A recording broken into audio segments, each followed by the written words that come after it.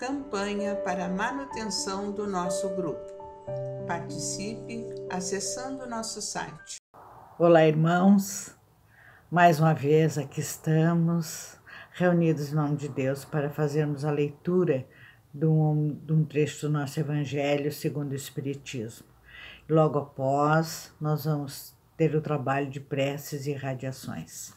E ao abrir o Evangelho, nos caiu o capítulo 18. Muitos são chamados e poucos os escolhidos. Parábola da festa de núpcias, caiu no item 1. Jesus, falando ainda em parábolas, disse: O reino dos céus é semelhante a um rei que, querendo fazer uma festa para o casamento de seu filho, enviou seus, servi seus servidores para que chamassem os convidados para as bodas, mas eles se recusaram a vir.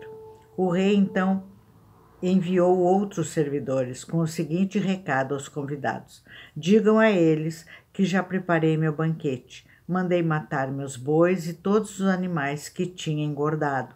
Tudo já está pronto. Digam a eles que venham para as festividades. Porém, os convidados desprezaram novamente o convite e se foram, uns para suas casas de campo, outros para os seus negócios. Outros, após terem insultado os servidores do rei, ainda os mataram. O rei, após saber o que aconteceu, ficou muito furioso e enviou seus soldados, matando os assassinos e queimando suas cidades. Então o rei disse aos seus servidores: As festividades estão prontas, mas os que foram convidados não eram dignos de participar. Vão pelas encruzilhadas e convidem para os festejos todos aqueles que encontrarem. Os servidores do rei foram então para, suas, para as ruas e convidaram todos que encontravam, bons e maus, e a sala de, do banquete de núpcias, núpcias ficou repleta de pessoas. Em seguida, o rei entrou na sala para ver os que estavam à mesa e, percebendo um homem que não estava com a roupa nupcial, lhe disse: Meu amigo, como entrou aqui sem ter a roupa nupcial? E o homem permaneceu em silêncio. Então o rei disse a seus servidores: Além, atem, desculpa, atem as mãos e os pés e lancem este homem nas trevas exteriores, onde haverá pranto e ranger de dentes, pois muitos são chamados e poucos os escolhidos. Está no Evangelho de Mateus, capítulo 22, versículo 1 a 14. O incrédulo ri dessa parábola, dessa parábola que lhe parece uma ingenuidade, pois não compreende que possa haver tanta dificuldade para ir a uma festa, e ainda mais quando os convidados chegam ao ponto de massacrar os enviados do dono da casa.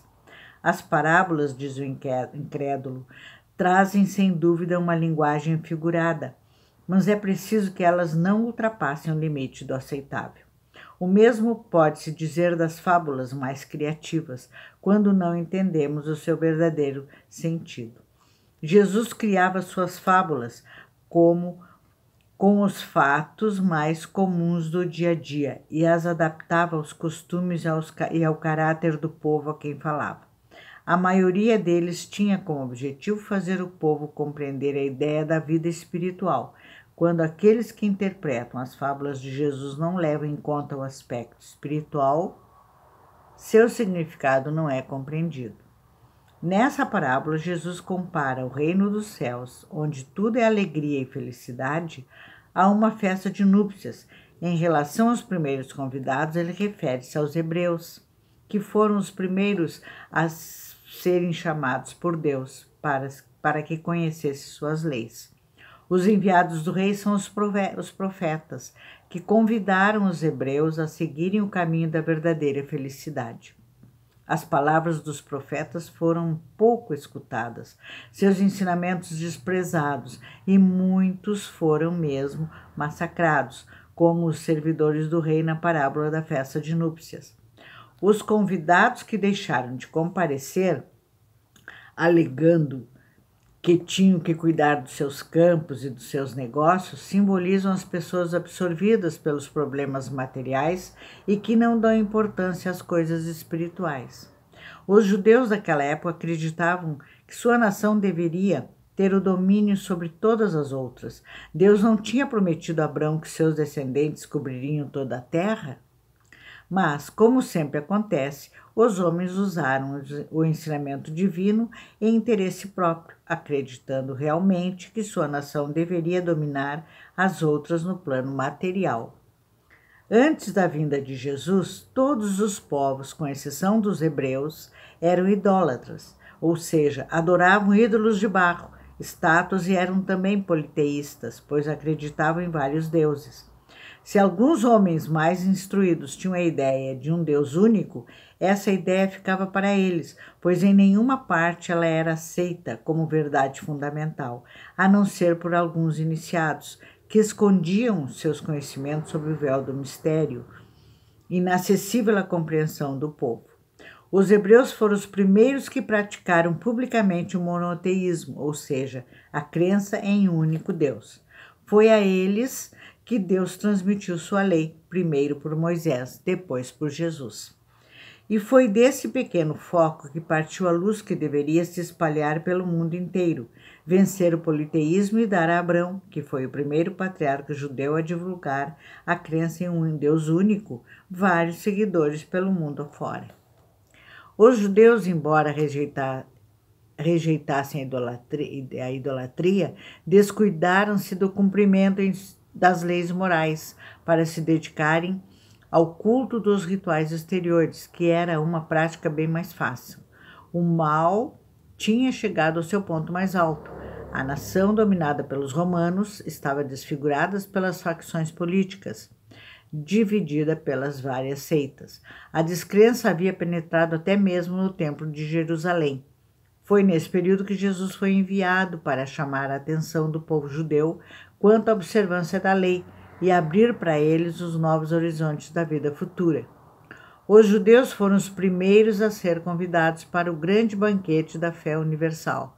E além de rejeitarem a palavra do Messias, ainda o crucificaram.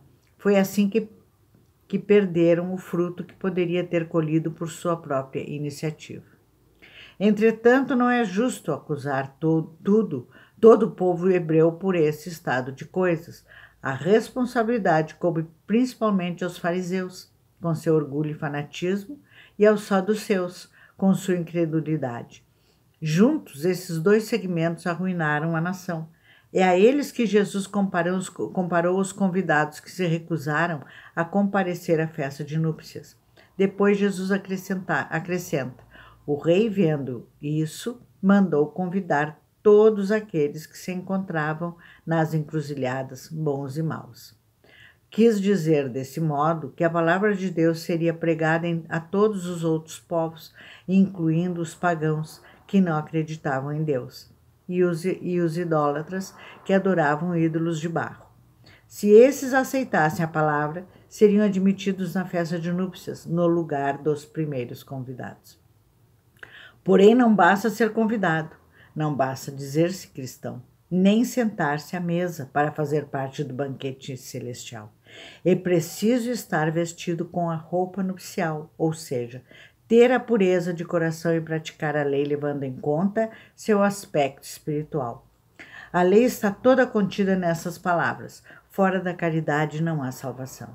Mas, dentre todos aqueles que ouvem a palavra de Deus, poucos são os que se interessam por ela e a colocam em prática.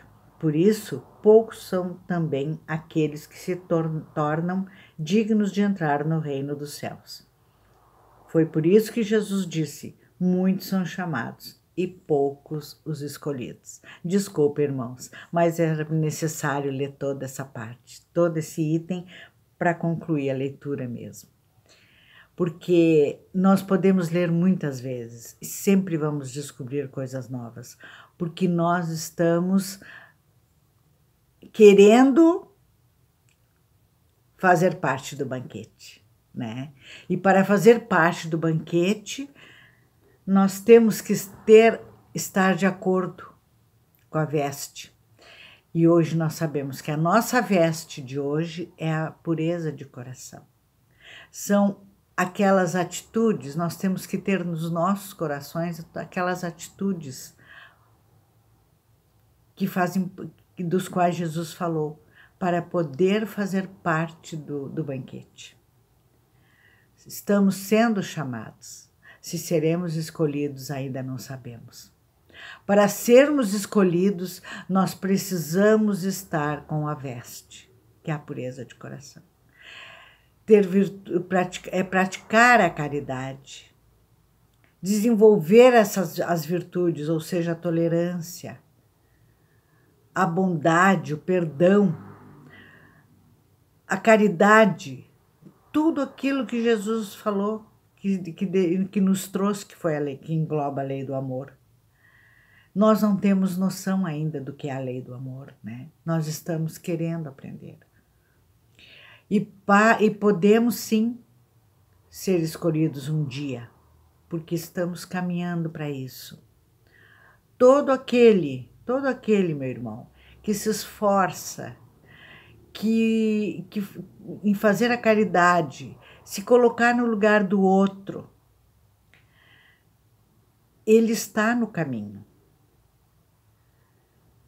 sem não adianta ter com isso não estamos dizendo que, que, que aquele que faz isso é o melhor, não.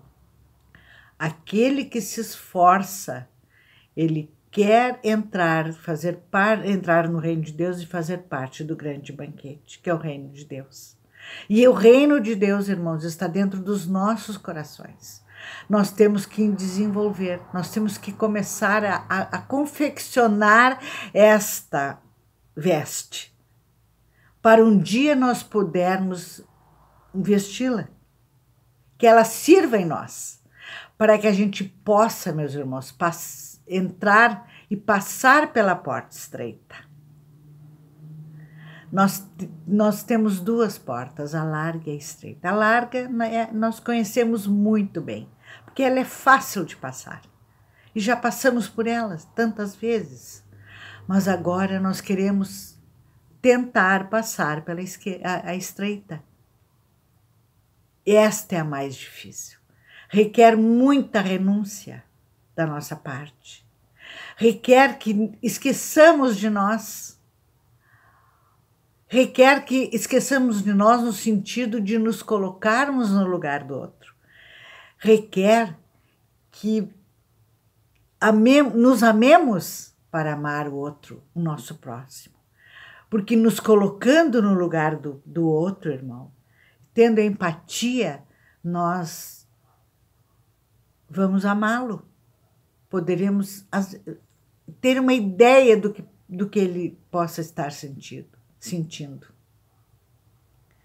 Então, meus irmãos, Jesus, esse nosso mestre, irmão amado, nos veio a este mundo para nos ensinar, para nos deixar lições, para que nós um dia possamos ser escolhidos e fazer parte do grande banquete. Quantas vezes nós fomos os primeiros? Nós com certeza fomos os hebreus, fomos os judeus da época de Jesus com certeza, sem dúvida, meus irmãos. Nós estávamos lá quando Jesus foi crucificado. Nós, com certeza, nós jogamos pedra. Nós o renegamos. Mas hoje nós estamos recebendo uma nova oportunidade. Depois de tantas oportunidades que tivemos, porque a doutrina nos esclarece e nos dá a certeza de que nós temos que nós temos oportunidades da reencarnação. Né? Nós não temos dúvida quanto a isso.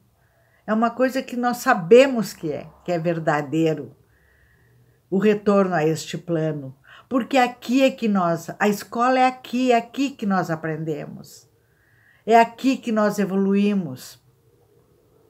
Porque ao chegarmos do outro lado da vida, não nos será perguntado qual era a nossa religião, se éramos espíritas, se éramos católicos, judeus, não. Vão nos perguntar o que nós fizemos de bom em, em direção ao nosso irmão? O que, que, o que foi que nós fizemos pelo nosso irmão? É isso que vamos perguntar. Não vão nos perguntar se nós acreditamos em Deus.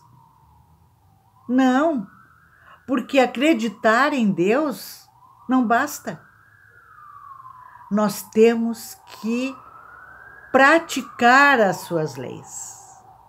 E muitos praticam a lei de Deus sem saber se Deus existe ou não.